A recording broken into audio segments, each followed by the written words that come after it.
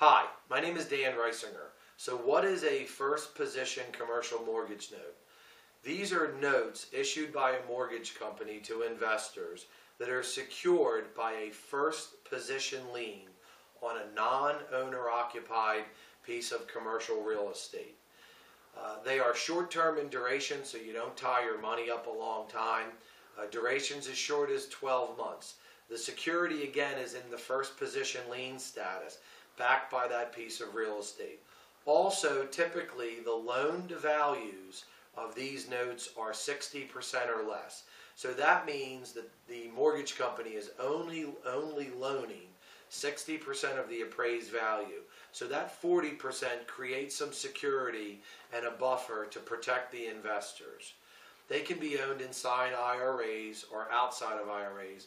They are very popular with institutional investors uh, that are looking to create some interest um, on their funds that they, that interest can be used to offset other programs. So I'd be happy to discuss these notes more with you to see if they fit into your overall financial plan. Please reach out and connect uh, at LinkedIn, on Twitter, uh, give a phone call or shoot an email, and we'd be happy to discuss uh, these notes with you more to see if they would mesh well with your overall financial plan. Thanks for listening and have a great day.